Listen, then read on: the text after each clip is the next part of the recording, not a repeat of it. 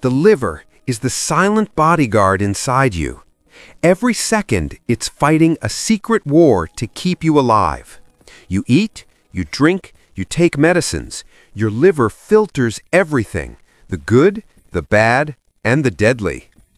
When toxins enter your body, the liver becomes a shield, breaking them down so your heart, brain, and kidneys stay safe.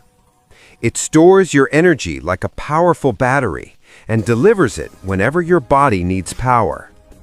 It makes bile, a special fluid that turns food into fuel. Without it, digestion collapses. Before we continue, hit subscribe and like, because this knowledge can save someone's life. But when you overload your body, junk food, alcohol, sugar, fat, the liver becomes tired, inflamed, and starts to fill up with dangerous fat. At first, no pain, no warning. But slowly, liver cells die, scars replace healthy tissue, and one day, this fighter can't fight anymore. Fatty liver, hepatitis, cirrhosis, liver failure.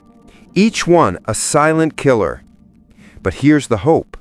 The liver is the only organ that can regenerate itself.